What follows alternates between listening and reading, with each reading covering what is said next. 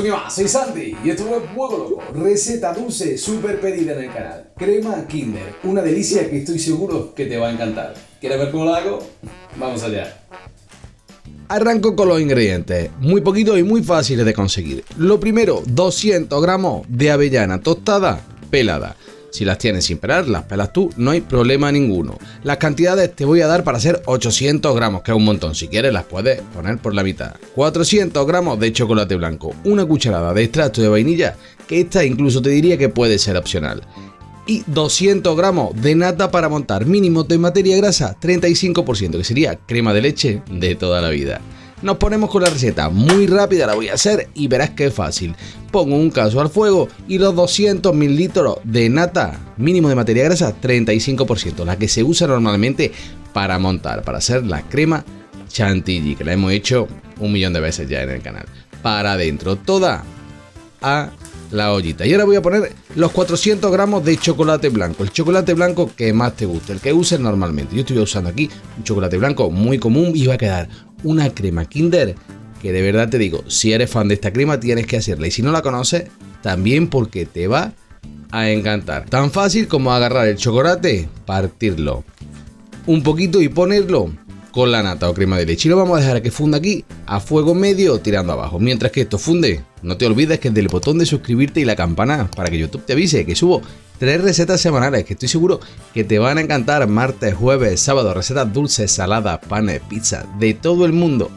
Que espero que te encanten, que te suscribas, que le dé la campanita. Y te agradezco de corazón. Y esto es así de fácil, un poquito de fuego en la olla y en el momento que lo tengas Así ya está, no lo vamos a llevar del fuego que no queremos que se nos queme nuestro chocolate y le vamos a dar aquí ya, con el calor remanente que tiene la olla, hasta que acabe de fundirse todo bien. Podríamos hacerlo en el microondas sin problemas, dándole golpes de calor, 30 segundos, sacamos, removemos, otros 30 segundos, pero con mucho cuidadito que no se queme. Ya lo tengo, lo reservo. Ahora me voy con la procesadora.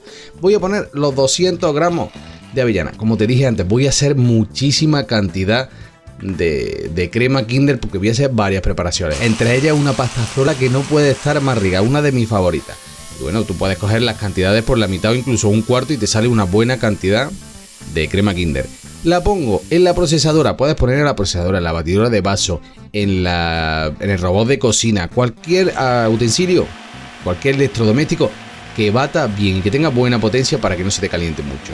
Esto es muy muy rápido si tienes una máquina que funciona bien potente. En este caso habré tenido esto como mucho 4 minutos. Una batidora de mano con el accesorio de procesador sin nada, simplemente la avellana. Esta tiene unos 1000 vatios, así que tú calculas, si ves que la tuya se calienta mucho, déjala descansar un ratito y le sigue dando hasta tener esa pasta. Perfecto, en un bowl voy a poner mi chocolate blanco con la, con la nata, con la crema de leche que ya temperaron un poquito.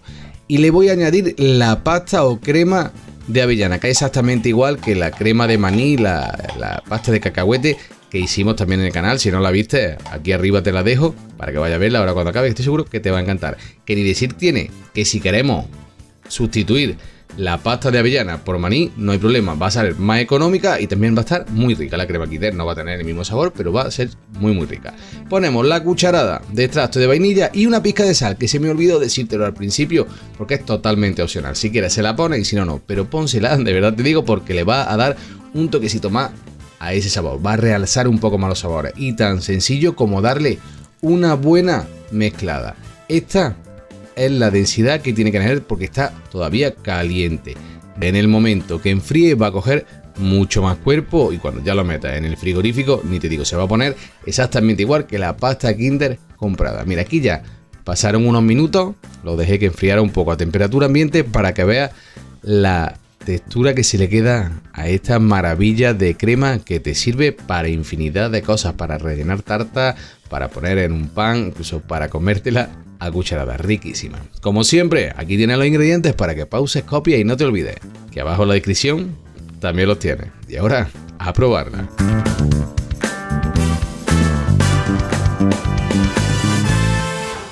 Tu crema Kinder lista para disfrutar. Espero que la hagas, te encante, la disfrutes y me dejes en comentarios cómo la comiste. Y como siempre te digo, si te gustó el vídeo, manita arriba, comparte, suscríbete y da la campanita para no perderte nada. Y nada, eso, un beso hasta la próxima.